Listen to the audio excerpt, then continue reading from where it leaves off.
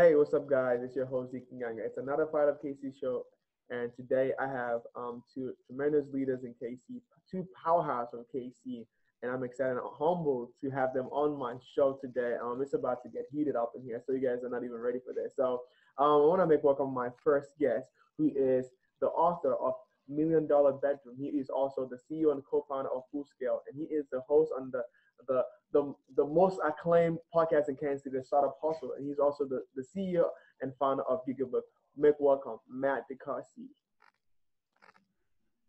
Zeke, what's up? you gotta come in with a startup hustle. What's up? What's up? I like that. What well, it, uh, that that would be, and we're back for and another episode back. of Fire Fired Up KC. Woo! There you go. How about that? Awesome. Now our second guest today is man. He's an awesome speaker. He's the author of Get Real Culture. Oh man, he's just an outstanding speaker in KC, well known around KC. Make welcome, Mr. Harry Campbell in the house. Make some noise for Harry Campbell. Welcome, welcome, welcome. Woo! Let's I don't go. think I can yell as loud as Matt can. That was pretty sweet. Nice job, man. Uh, straight out, straight out of Ric Flair's playbook on that one, baby. Oh, man, he was like an 11-time NWA World Champion. I mean, he was the Nature Boy. Uh, Ric Flair was awesome, man. Um, an honor again to be here with two legends. Every time I start the show, I always tell myself, "Mama, I made it," because I'm always meeting some awesome leaders. So, an honor again to be here. So, um, before let's get right into it. Um, Matt DeCarson, just give us a little bit bio about yourself and let people know who we have, we have here today.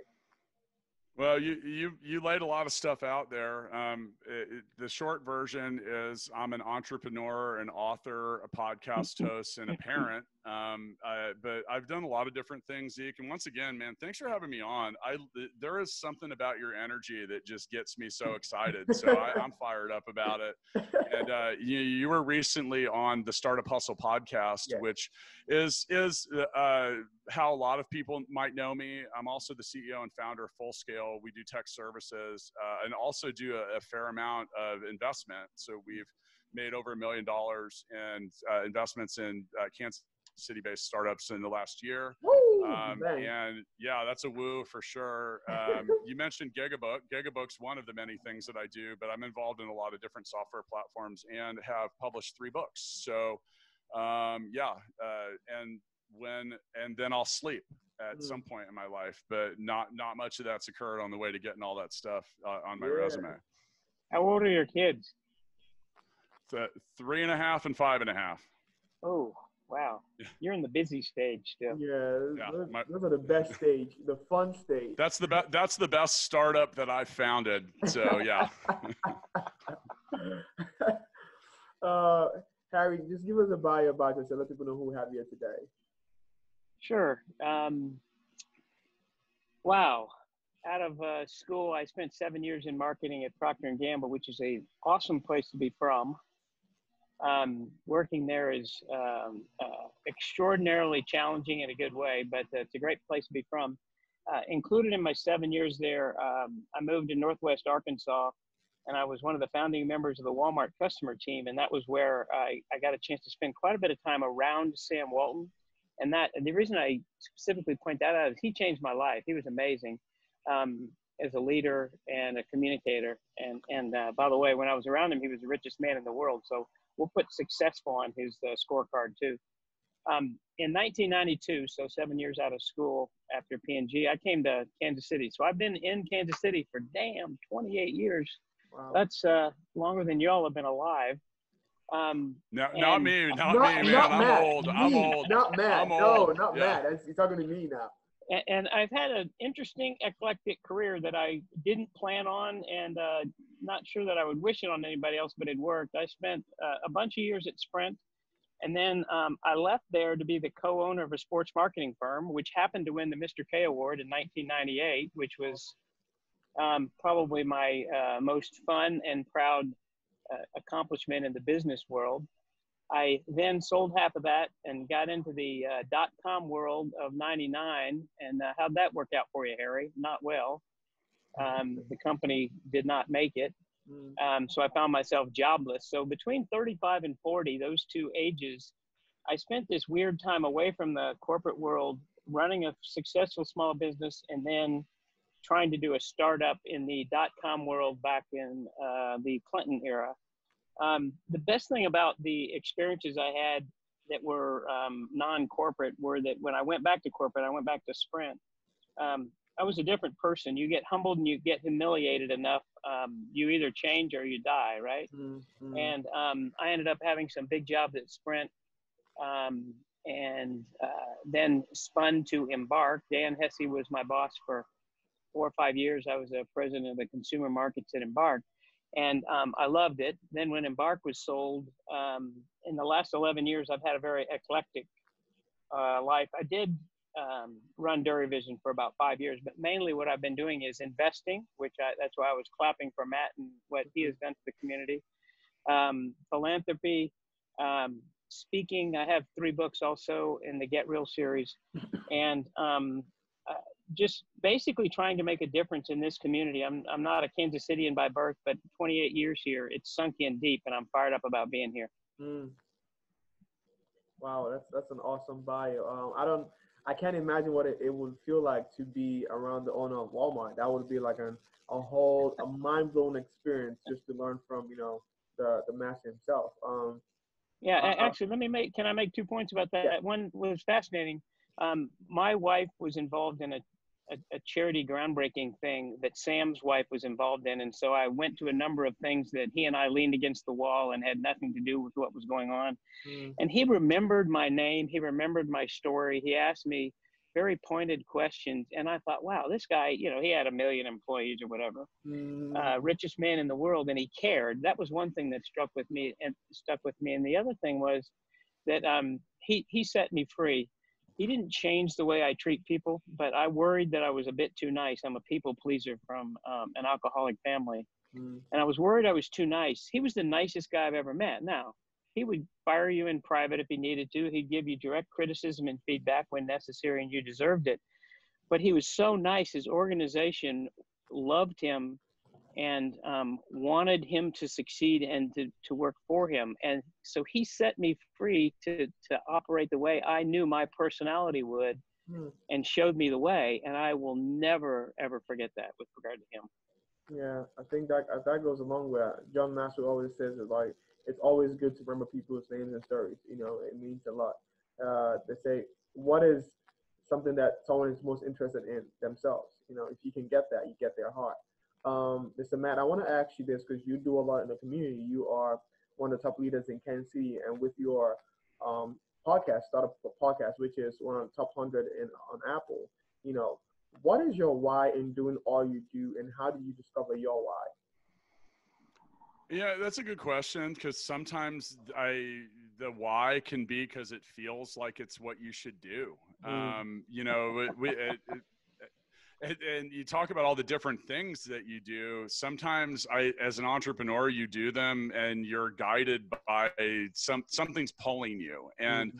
Uh, when it and and you know Matt Watson, my my often co-host on Startup Hustle, we started the podcast because we wanted to we wanted an outlet to complain about being entrepreneurs mm. uh, meaning like it, it's it's such a misunderstood lifestyle and reality mm. um, now with that our goal our, really our goal and and you talk about the things in the community i i am a firm and true believer that if you help other people get what you want then you usually end up getting what you want mm. um, it's it, you have to approach many of these things with a selfless attitude so like we with starting startup hustle we had that we felt like we wanted to share a lot of things that help people avoid uh, some of the mistakes that we had made. Now as an investor um, that was a win-win because we use a lot the investments that we made weren't, nec- weren't none of them were with cash. They were with services and they were so at a business like full scale where we have 200 employees and they're programmers at any given time we have several that are not necessarily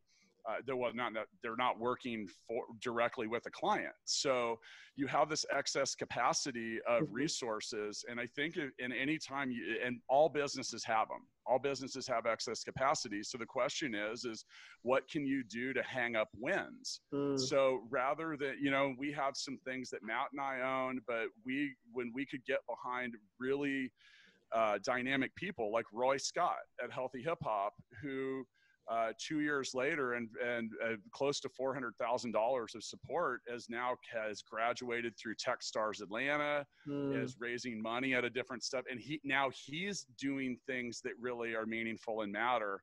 Um, I think really in the end, the why is like, um, I mean, some of it is, is just like well, what else do I have to do, man? Yeah. Like, I mean, yeah. if I can wake up and do what I'm passionate about it, man. I love talking about. Uh, I'm obsessed with business, so mm-hmm. if I mm. get to do things that are fun and meaningful around that, then I feel really good. You know, Harry mentioned something about being set free at Walmart, and you know, with Sam Walton is like. So some of my why is also being setting maybe setting others free yeah. and and feeling the same thing with myself now harry mm-hmm. i have a question for you did you also through those years did you get to work with bob bernstein um i didn't i know bob and his son uh stephen um, and I've known a couple of people that have worked there as senior execs. Um, I know all about the Happy Meal and um, yeah. the crazy success that Bob had there. I mean, they were a long time ad agency for Walmart, weren't they?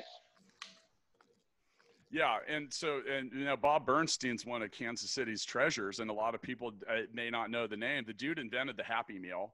Mm. And a bunch of other things. At, well, as one of the greatest marketers you'll ever find, he's the founder of Beauty Brands, and he tells such an amazing story about uh, about joining the Walmart team before they were the Walmart that we knew, and mm-hmm. just build up building that brand. And it was really cool. That, and he felt the same way about Walton. Like, uh, you know, like uh, it's important to get behind people that you can set free and let them do what they do, but also not. You know, he would also say that that was, he'd tug you to the side and be like, "Hey, man, what what the frick are we doing here?" So, yeah, the the why is is it constantly being defined, Zeke. So that was the that short answer. That's awesome. Yes. Um, Harry, what is your why behind what you do and being able to be in the industry for over 28 years? Um, love the question because uh, anybody that hasn't seen Simon Sinek on his TED talk about the why, mm. get their ass on their computer and look at it. I, it's probably been viewed 50 million times now, or mm-hmm. I might be understating it. Um, uh, he and Brene Brown are my favorites uh, in terms of the high volume viewership. Wow. Um, my, my, why is very simple. Um, I, am wired to give back, and um, I love it. I do it. I did it while I was working, and that made it so that it was a great culture that people wanted to work in. I've done it now in Kansas City, um, and I'm doing it uh, as investments. I've got, uh, I guess, four companies that we're invested in and or pretty significant owners in um, as a result of our um, uh, choices that we've made of my, me and my family, my wife and I. And the um, cool thing about it is that we are not entrepreneurs. Mm. Um, I will say that time and time again. I am an extrovert. I spit, I wave, I tell crazy stories, but that's not entrepreneurism.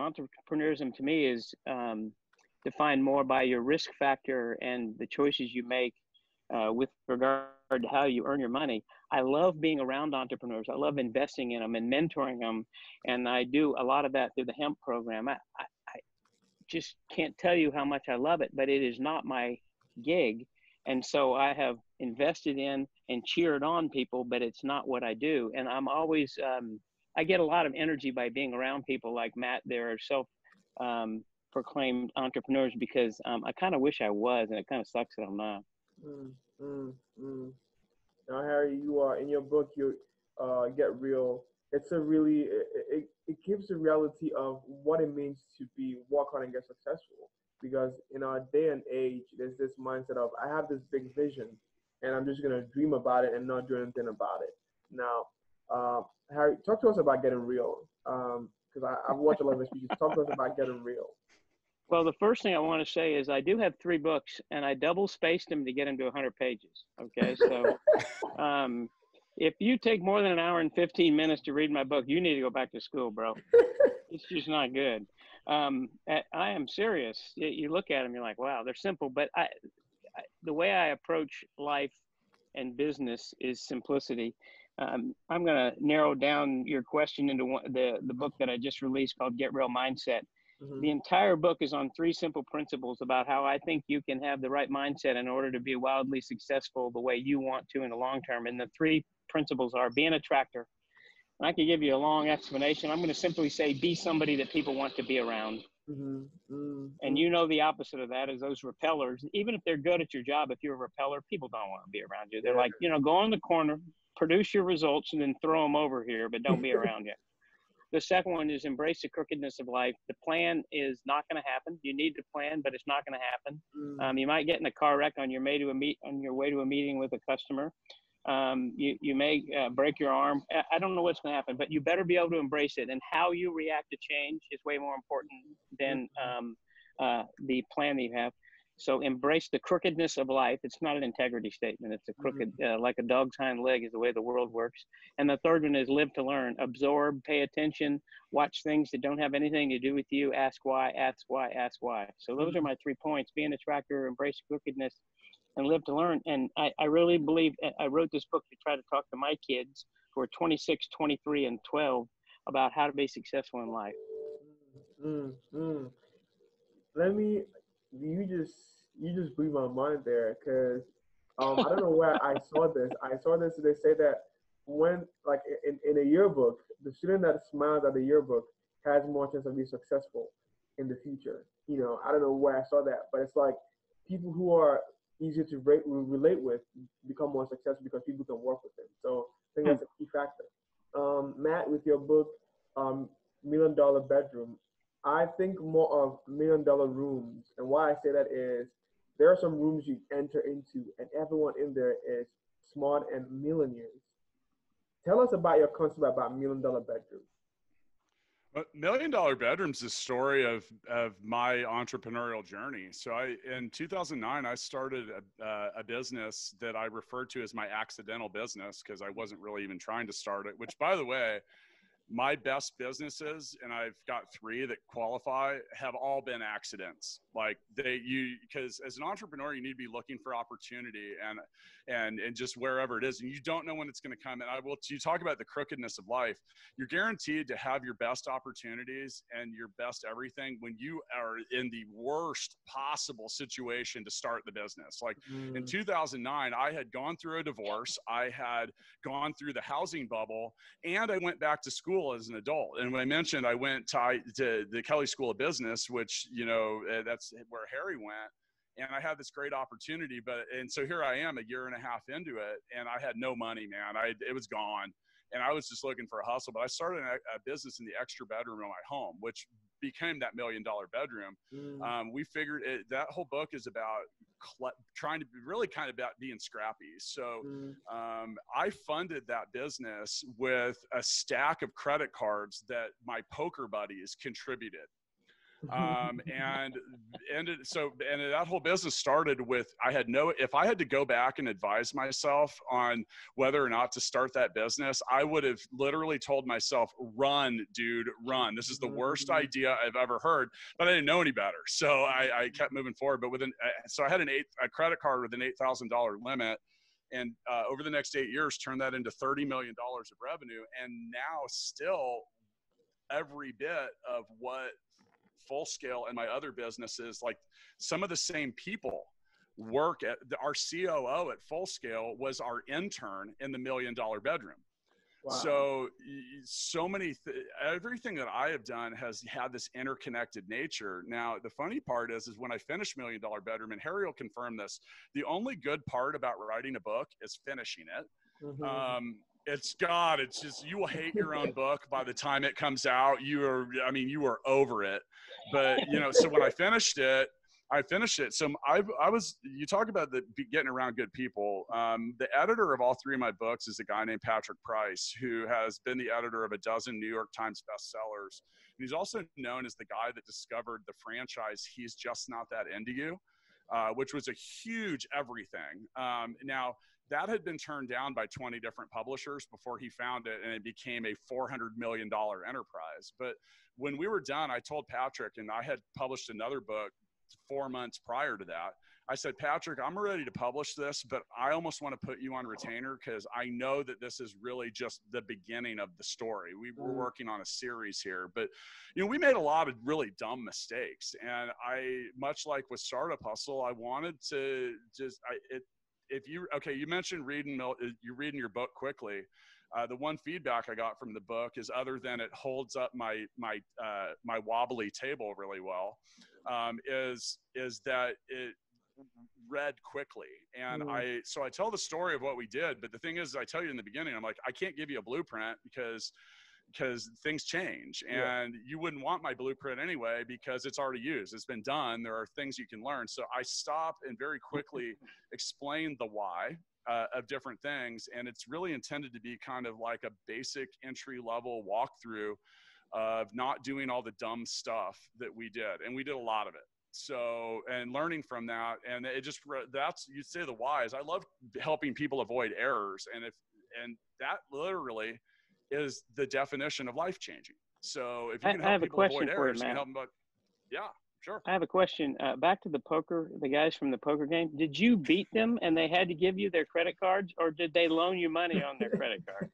Because I kind of well, like that. So that that business was so we were we became one of the uh, top 20 ticket brokers in the country and for the last four years of that business we're in StubHub's top 20 concert ticket resellers. Mm. So the thing is, is you can't fund a business like that. So I didn't, and you know, like I just didn't have a whole lot going on.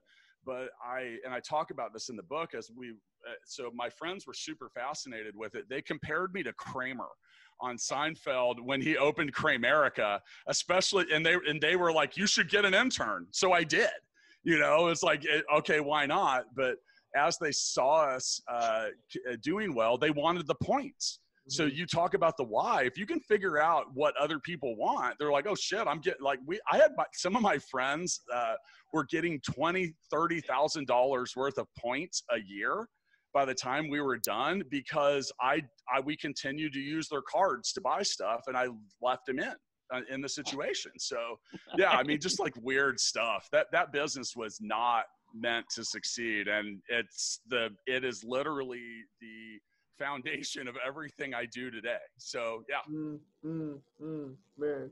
Um another thing that i'm i'm really passionate about and i think it's important for young people to understand is this the passing down of the torch right? The passing down of wisdom. Because if you've seen someone who have done it you believe you can do it too um, in that in that regard, Harry, um, being someone with your experience, what are some tidbits of knowledge and wisdom you want to give to yourself at my age or someone out there trying to hustle who is a younger person? wow. Um, the uh, probably the single most important thing I would say, I asked I got asked this the other day on a podcast, what's my superpower? And I kind of laughed. I'm like, well, that's a hell of a question. um, and I said very simply, it's creating a culture where people want to desperately work. Such a positive, uh, productive culture that people desperately want to work there. And I use those words very specifically because if people desperately want to work with you, um, good things happen if you have an opening, 11 people are standing outside the door and you can pick the best of the 11. It gives you all sorts of, it affords you opportunities. And if you do that inside a big company, by the way, you're such a differentiator, it's ridiculous because big companies don't do that. They don't care. If you're an entrepreneur like Matt and, you're, and you understand that, you're on your second or third go around, you get it. You have to get the get best people. You can't make mistakes because a mistake in hiring can blow you out of the water. Mm-hmm. Whereas at a big company, you can get away with it. And so the, the simplest thing I would say is create an environment that people desperately want to be involved with, they want to win with, and they want to make them and you successful. And if you can do that, you win. Mm-hmm. Matt? I, am in the hemp uh, uh, entrepreneur program, and the company that I um, mentor, uh, Dan Holmgren specifically, is the owner. It's uh, Image Makers, and it's in Wamego, Kansas. It was supposed to be in Kansas City. They did the bait and switch on me, man. It's like an hour and a half west. Of, it's a suburb of Manhattan, Kansas. I love the, you know what we do? I love the mentoring. Once a week, Dan and I get on the phone and we sometimes talk about life. Sometimes it's about kids. If he has issues or problems with the business, he brings it to me. And um, I'm 58 years old, guys. I've probably seen it before. I don't know if I've dealt with it well, but I can tell you I've seen it before. So having that ability to have that kind of discussion is fun for me. And I do a lot of other mentoring informally outside of that because it is fun to share your stories, your successes, and your failures with people so they can do better. Mm, mm, mm. But by the way, this is a great question. And so there's, all right, I refer to this as knowledge transfer. And mm-hmm. I find something to be remarkably powerful about it. Now, it depends on what kind. So, first off, I mentioned before helping people avoid errors that you have made is can be is literally can be classified as life changing for mm-hmm. people mm-hmm. but as an entrepreneur one thing i learned very early and is that there were a lot of people that took interest in me that were older than me and I, you know, at the t- I didn't know why. Maybe they saw part of me in them, or maybe they just liked helping. Now, you mentioned uh, uh, uh, the hemp program, so Helzberg Entre- Entrepreneurial Mentoring Program. So you have to know Laurel Holt. Um, oh yeah, oh yeah so Laurel was in my book Balance Me, and his someone that that like uh, along the way of the publishing, like literally went out of his way, and I, have helped uh, you know help return that favor to Laurel when he created the recent program that he launched through hemp, and um, you know so you get you find if you can find people that will take an interest in you, you're stupid to not let them do it. But here's the thing: knowledge is not meant to be held it wasn't it wasn't that mm. person's and it is not yours it is meant to be transferred and moved along so mm. i seek different types of it so i have been i have i have the most interesting collection of knowledge transfer people because uh, I look for people that are exceptional and I like to study like what is it about. So I'm fascinated with rock stars. I worked in the music industry for 10 years before I did tickets, almost 10 years. And with that, I've met a lot of interesting people. So I find I, I love the, the rock star because the rock star has to turn inspiration on at a given time on mm-hmm. stage in front of a lot of people in a high pressure situation. And it, I, I, that's difficult for me. So like for me i find if i find a moment of inspiration i tell my wife that i'll, I'll come back out of the room that i'm in right now when that horse is no longer carrying me forward. Mm. but, but the thing is, is i don't ever know when it's going to come. So i have to capitalize on it so the ability to like turn it on at a given moment is it fascinates me. Now if, if, the one thing that that I, I think is is great is if you can find people like that that are equally so at first I was insecure about finding people because like why would this person be interested in me? I found that, that a lot of people that weren't entrepreneurs but were these ridiculously high performers were more fascinated with me than I was with them which creates a really interesting um, if you can start to have this like it, and here's the thing is there's one key that i've learned. It ha- the knowledge transfer has to occur without any expectation of return. Like you can't and and so hemp is a good example because you mentioned image makers and Wamego does have like a population of 400 i've been there. Um, i know the guy actually i know the guy that owns the the bank in Wamego. Uh, yeah so so but the thing is is is you talk about no no expectation of return uh, so, like in the hemp program, you're not allowed to do business with your mentee. And there's a reason for that. And that's because you can't, there can't be an expectation of return. So, mm-hmm. if you can get some of that stuff going, it becomes remarkably powerful. And the, now it's not always about the conversation it's about that after effect it's about that part of your mind that you opened up or the so i mentioned like a rock star one of them is a guy named Jake Seninger, who's easily like one of the top 50 guitarists in the world. Mm. And I talked to him, and we literally have we have conversations about like, okay, the last one was about how do you how do you obtain guru status? We're talking about the things that bother us that are getting in the way of us getting to where we need to be. Mm. And he's like, dude, I don't carry my gear in and out of the venue. It's not because I'm not willing to. It's because it's not what I'm here to do. I'm doing the best thing possible by focusing on this and different stuff. So like you will find some weird stuff. Like if you ask Jake how how many guitar chords they are, he'll say, "Oh, there's 7,334." How many do you know? Well, Matt, I know all of them. You know, and it's like, but the, it, here's the thing: are, are you a master of what you do like that? Because mm-hmm. if you mm-hmm. don't know them, he doesn't. He doesn't only know all of them; he can give them to you backwards. Mm. So, but the, here's the thing, though: is is he has a lot of talent, but when you see the level of of desire to practice and perfect that like you can't if you leave that conversation going if okay i literally dr- drove home later that night and i was just think i couldn't get out of my head about i was like god i got a whole lot of work to do. Like mm. you know so it, it, it, you can find it to be inspiring but i think that knowledge transfer is key which by the way zeke is why i love you my friend because you want you want the knowledge and you want to pass it along and you're not doing this for any expectation of return. Like it's very pure. And I love that because it, I don't know when you're going to get what you want, but you will. You will if you keep it up. You will if you keep it up. Hmm. You know, guys, um, when I do keynote speech, I always do my own bio because nobody can make fun of you like you can. So I do that at my own bio. And the last slide I show before I go into my material for my book is a page called Mentors and Influencers, and it's just a page of names in different colors and different font sizes, including Sam Walton, etc. And it's called Mentors and Influencers. And the reason why you had to put influencers up there is uh, there's a few people on that wall that I hate, but they also influence you and should make a difference because there's a couple of cheaters that went to jail, and if that doesn't influence how you uh, think about uh, doing things correctly. And I love that. And, and when I do that, inevitably, it, it sparks such a conversation with people about why is, um, you know, uh, Mindy Corporon on your list. And she happened to lose her um, father and her son in the shooting out here at the Jewish Community Center about five years ago or six years ago. And the grace that she's handled that with and how she said changed the course of her life as a result of that, that matters to me. Mm-hmm. And everybody needs to think about what their list looks like. And if you're Zeke's age, the list might be six or eight people, but as you accumulate them, you think purposefully doing things differently or as a result of what you're taught is very cool.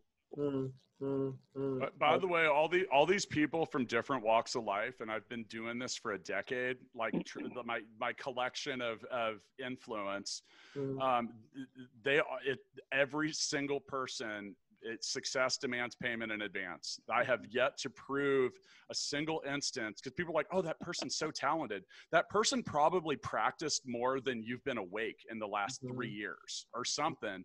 There's really no accidents about it. Some people do have the people that have the most quote talent are the eh, eh, are the ones that are most interested in perfecting it. So you know, like that. Here's the thing: there's no shortcuts, man. I have really yet to find it. Uh, I have not proved the success demanding payment in advance thing wrong yet. Mm. One one of the things in in Get Real Mindset that I talk about is I believe that life is won and lost at the margin, and and True. that means that there are some things you're great at and some things you're horrible at, but there really isn't a huge number of either of those. Mm. Everything is played between you know the 40s and that goes back to your idea if you're willing to put the work in and the practice what happens is if it's going to be a toss up and you've done that you win the toss ups and you if you win 9 out of 10 toss ups guess what? They're no longer toss ups anymore. Yep. you're winning. Mm. and and i think people need to understand that there's so much clustered in that middle and it isn't just luck and they look at a pawn with envy somebody that gets this meeting that they were trying to get. I'm like they, they, they worked it very hard. And in fact, if you trail it backwards, you're going to find that they were doing things you weren't willing to commit to do in order to get what they got. Mm-hmm. Well, the higher the higher you climb on that, so people are like, oh, I want to be in the top one percent of what I do. Well, that means that you're not you're you're behind. ninety nine percent of the people are behind you. Mm. So you know when your your graph doesn't look as much like a hockey stick when you're competing with people that are at your level, and that's why you said like that that the, the, the devil's in the detail. Uh, it's about those margins and it's about like are you ready to work harder smarter or whatever? I do not believe in luck guys. Like that is preparation and opportunity mm-hmm. uh, crossing paths. People are like well what about the person that won the lottery ticket? Yeah they prepared by going and buying the ticket. Mm-hmm. i'm not going to win the lottery tonight guys because i'm not prepared. I didn't buy a ticket. So i mean there's it's it's true, but it's yeah. true. Like I'm telling you, the most successful people I've ever met are okay. Then I mentioned that conversation with my friend Jake. Then the, the the next conversation we had the next time I saw him was, "What's the difference between being a genius and being crazy?" Because mm. and, and by the way, the best answer I found for that yet is, "Who cares?" Because it, it, it, it's a one it is a 100% external observation but mm. guess what? Anyone that, eh, and the real difference is, is if you've done something that people think is notable, then you become a genius, but you were probably really freaking crazy on your way there. Mm-hmm, mm It's just mm. it. And like, what's yeah. the difference between being obsessed and being driven? Like, that's mm-hmm. it. I, I don't find a lot of people in that very top notch of anything that aren't like, if you, uh, okay, so you say, Jake, how, how long, uh, how much time do you spend playing guitar every day? He'll be like, I don't know, 12 hours. How much time do you spend thinking about playing guitar? And he'll go, all of it. Mm, wow. what are you gonna do? What are you gonna do? Like, I mean, it's yeah, but but here's the thing on the flip side of that, and this is where it's interesting. It, so I have that same issue. I can't quit thinking about business. I actually wish I could because it gets noisy. It, it's like almost like the definition of insanity. Like you like, come on, stop, stop, stop. And you know, so it's it's like it's a really challenging thing. And like the by the way, the other people that have the same freaking problem, they're like, I wish I could quit thinking about this all the time, but I can't. You know how I handle that? This is the weirdest thing. My wife is laughing somewhere now. Um, I read I read uh, fiction books mainly about serial killers. So think Dexter in a book and it's the only thing that I could do to shut my mind down from the next steps and and what what we're doing and and where we're going and who I'm doing what to do and what tomorrow looks like and what okay I got to get up at 6:45 and nah, nah, nah, it was the only way to shut my mind down. So I, I read about serial killers. Mm, mm. Not Right. real life ones necessarily, but it, it, you know, it, it, get- it, it's my escape. It is. It's the only way I can shut it down. Mm, mm. I, I had a lot of questions, but you guys covered a whole bunch of things I wanted to ask. Um, man, so this is an awesome conversation. I'm just like, dude, I'm you, just- you should you shouldn't sign up to public speakers and people like this. Like, is, Zeke still? Are, you here, Zeke? Are you like? I'm here. I'm just. I, I'm sorry. We I'm sorry we didn't let you talk, man. I'm sorry. No, I'm just listening. I was like, this is perfect. This is what I love to do. That's a thing too. Like, I love listening so much. Um, um, let me ask this. Uh, uh, so I want to be. If I, I want to become like, you know what? I think it's already put put a stamp on this, where it's like, you know, whatever you want to become, you want to spend time in doing that. Which is, I spoke to a coach of a basketball team this morning, and he said it takes what it takes to get to where you want. It, it just takes what it takes. It takes that work. Um, I want to ask you guys real briefly, what was your most of your time spent when you were starting versus what where you are now? What was most of the time spent doing when you were starting out? What was the hardest thing for you to accomplish versus where you are now? I, uh, can I go first? Because you can go first. I'm ready, man. So uh, first off, most people fail at the start. Like they never try. Mm. So if you don't take a shot at it, you're never going to get it. Now, all right. So I've I've dropped out of five colleges on my way to being a junior.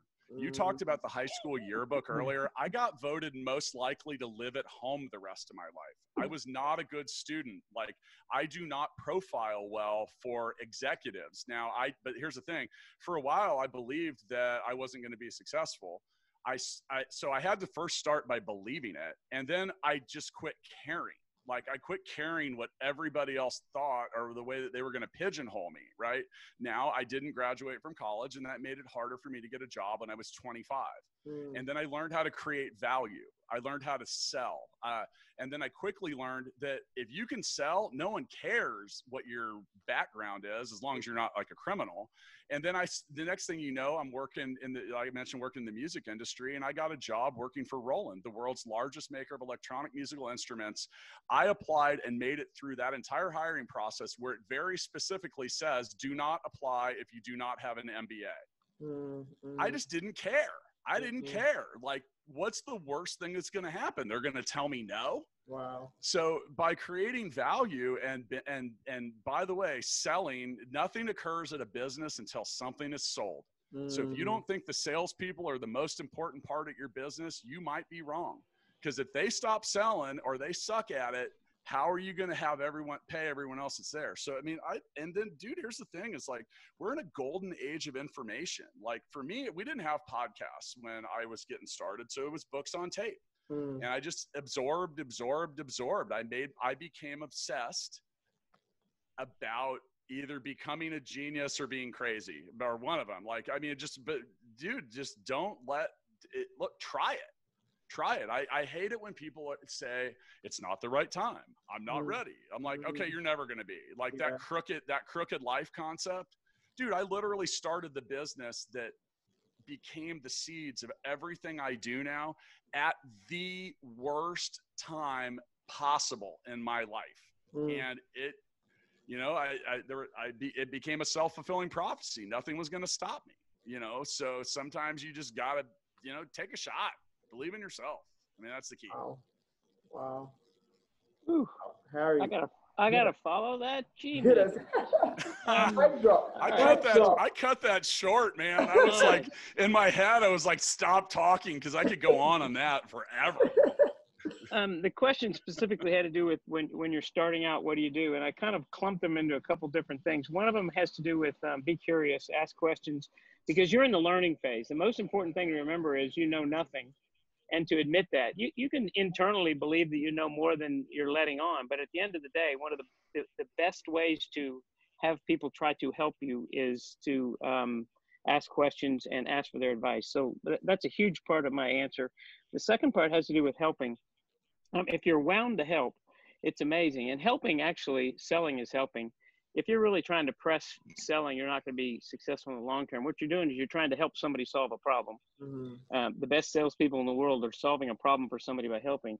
And um, I laugh because uh, Matt and I got some overlap, even though he's got the entrepreneur thing going. The perseverance is true. I am um, so amazingly mediocre at everything I do sports wise. I know the rules. I could be a coach. I don't have, no, it's just not going to happen. Okay.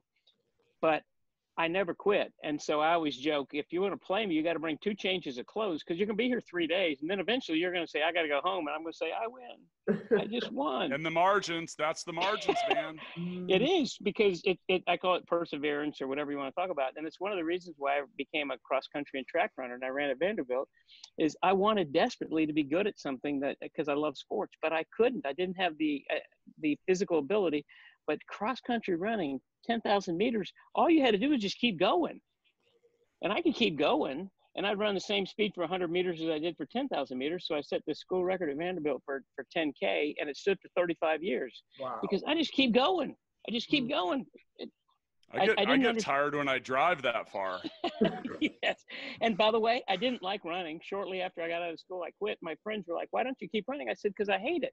I was good at it. I wanted to be doing something in sports, and I sucked at golf and baseball and football and all that stuff. So um, perseverance is my second piece. The first one had to do with kind of asking questions and learning, and the second one had to do with um, uh, staying with it and not quitting. Mm, mm, wow, wow. Those are like I think those are like really awesome skills that I think everyone should have. And there are not a lot of talks about the what it actually takes to become successful. There's a lot of people showing that I'm a success. I can teach you if you pay me hundred dollars, but they're not actual foundational stuff, you know, that can help you become successful.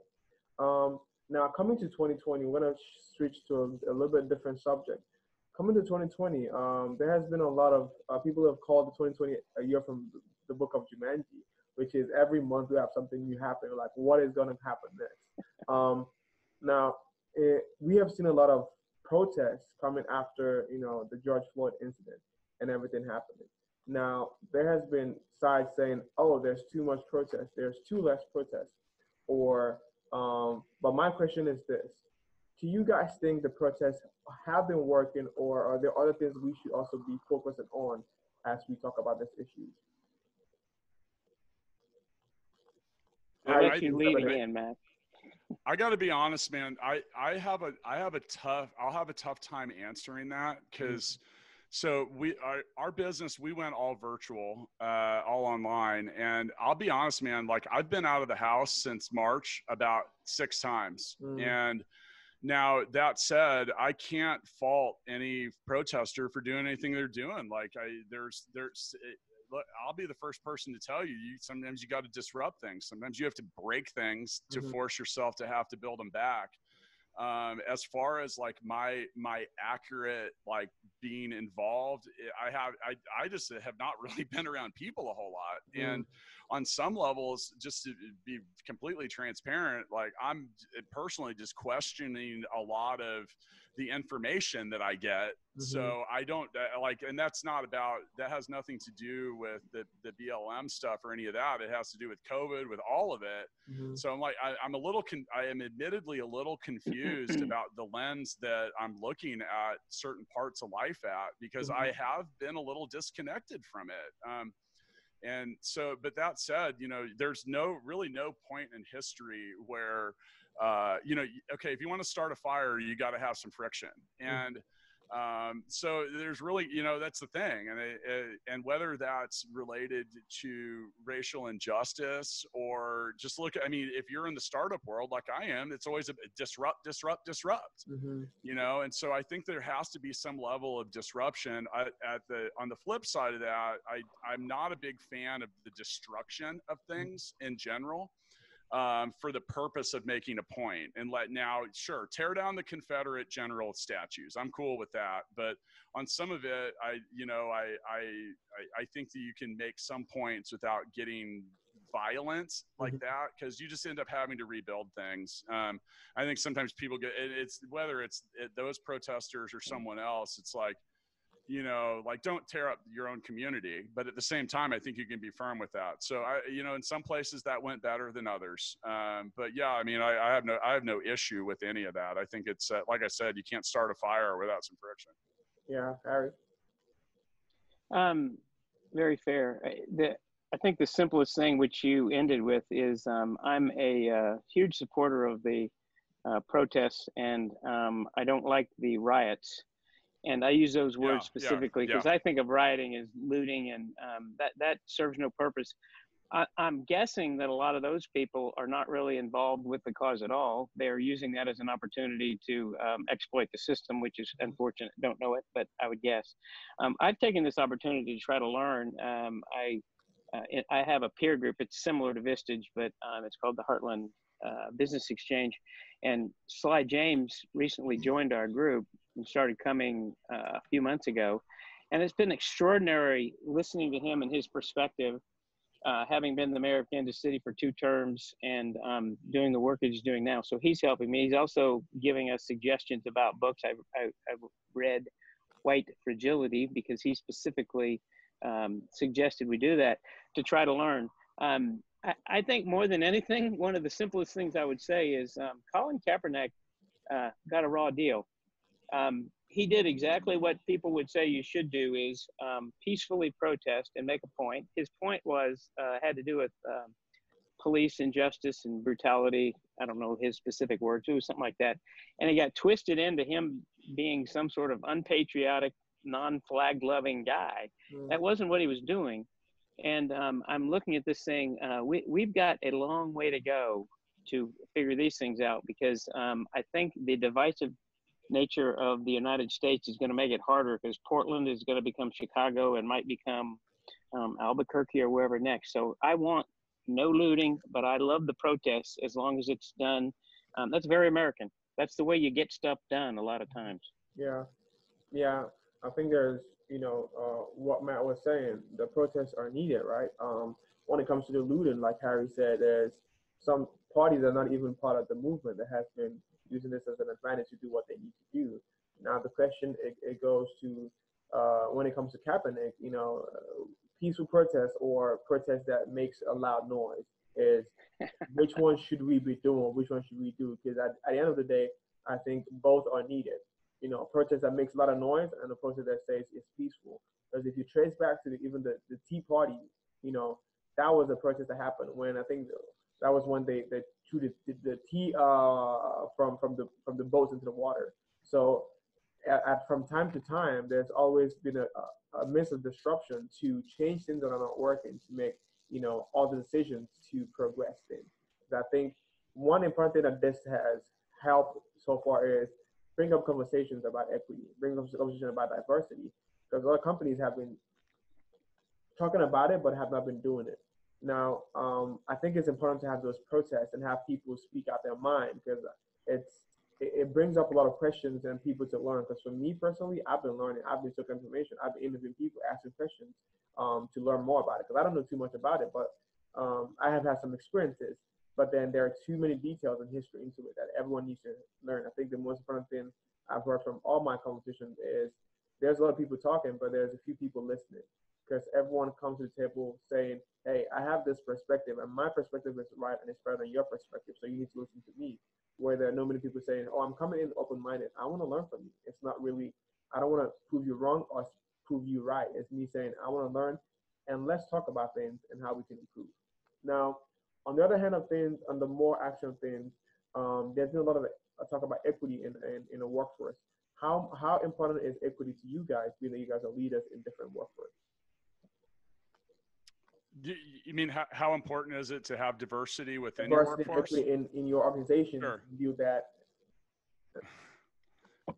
I, I, it blows my mind that that we that people don't have as much of it as they do. Um, you know, I I think, and it's been a, a, hot topic we've had. I was actually talking to Roy Scott from Healthy Hip Hop about that because it, it, it's it's a challenge sometimes like and and so let's be realistic sometimes it's a demographic challenge. So here in kansas um, it's it's a it's sometimes you know it's difficult. There one of the things that comes up with the diversity is well there aren't as many women in tech there aren't as many founders and stuff like that. So you know sometimes it can be a challenge to bring certain folks in. Now today we announced that we had hired uh, jessica powell from uh, many people know her locally, and she's joined uh, Full Scale as uh, her. She's our new director of strategic uh, partnerships, and we brought her in specifically to try to connect us to to have someone in charge of of creating partnerships and relationships with a, a wide swath of different stuff. You know, and, and I think that's important. Um, but but I mean, I will say that sometimes it's a challenge because uh, in certain in certain categories, it, you don't end up with a large pool of people to talk about. And as a business owner, you want to hire the people that are the best fit for everything that you do.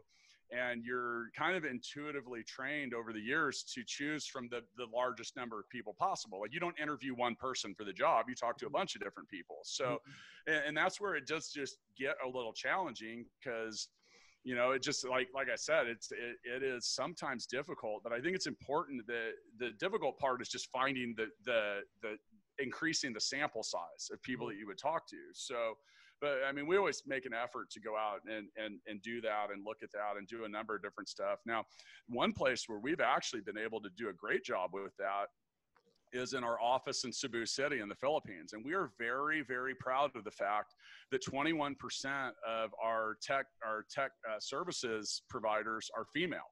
Mm. Um, if you had to find, there's no company with more than 10 people in the US that does tech that can say that. And now, hmm. we didn't even realize that was the case until we added up the numbers. So I think if you're doing a good job with diversity, you might not even know that you have done a good job with diversity, meaning like you shouldn't be paying attention to that. Um, I also recently didn't realize until I had never thought about it. I had literally made a million dollars in investment commitments before we realized that half of it was to minority owned businesses or female founders. And I think that's kind, kind of the point. Like, yeah. if you're, I think if you're doing some of the right things, then it shouldn't have to be something you mm. review. Um, now that wasn't intentional. Like, and honest, I got to be, I really had not even done the math or considered that until recently. Mm. Um, and so, you know, like, I don't know, I just think it's something that people should be paying yeah. attention to. And at, while at the same time, you got to make the best decisions that are related to your business and the mm-hmm. people that work there. So, yeah. yeah. Harry? Sure. Um, I can't imagine why you wouldn't want a diverse group, whether it's a leadership team, uh, organization. No. I, I, can't imagine it because if, if your goal is to um, create a thriving enterprise, there's a much higher chance of making a mistake if you have same thinking. And you could be same True. thinking uh, socioeconomically, um, race, religion, in any of these things.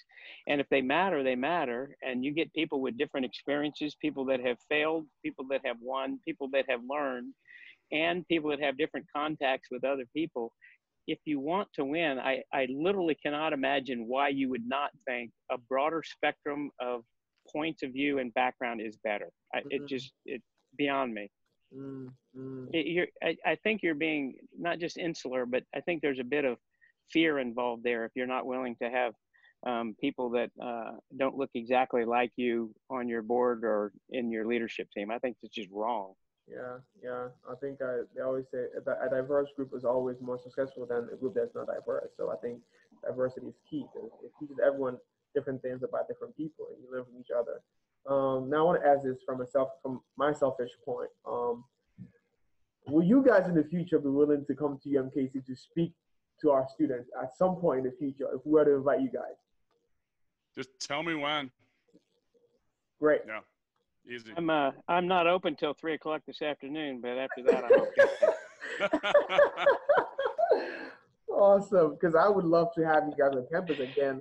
Like like I said, passing down that wisdom, passing down that knowledge. Actually, I'd like to revise my offer so I can be competitive with Harry's expert response. I will only do it if you let me bring one of the people that I find to be the most successful entrepreneurs. I don't even know who that'll be yet, but I Okay. I'm I got to come in a pair or Okay. we're, That- we, we have to have I like offer that. double the value. Yeah. and I'm I'm not coming unless I can get two diet cokes and be a co-host with Matt because um, I just listen to Ah. what he says and just think, oh, this is beautiful. I got this. Thank that's hum, that's humbling. That's then we have a panel. Then we're gonna have a panel discussion, which is even even way better. So um, that would be awesome. Now we've come to the end of the show. I want to ask one last question. Um, what are two takeaways you want anyone watching this in the future to take from this conversation for you that you want to give someone out there to hold on to? This is what I want you to actually take from today. I, I think that if don't be afraid to get started on your big vision.